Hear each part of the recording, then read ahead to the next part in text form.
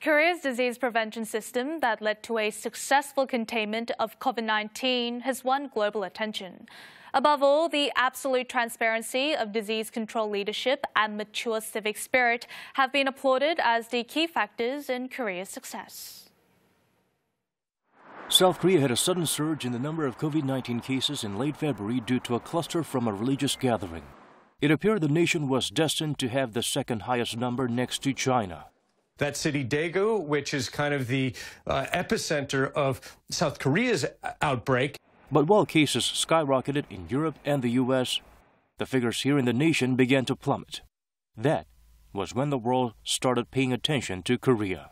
Foreign media focused mostly on the widespread testing and contact tracing. Through these means, Korea was able to quickly detect and isolate infected people and subsequently stop the virus from spreading into communities. Also, preemptive testing and treatment help lower the fatality rate. It's developed an innovative testing strategy and expanded lab capacity. Korea earned high praise for coming up with the innovative drive through and walk through test facilities. Other countries rushed to adopt the speedy and safe systems. They also started emulating Korean disease experts' transparent daily briefings on infection cases. We have 10,000 ventilators right now in the federal stockpile ready to move should we need them. What amazed the world the most is that Korea successfully contained the disease without ordering a lockdown, something that's very rare.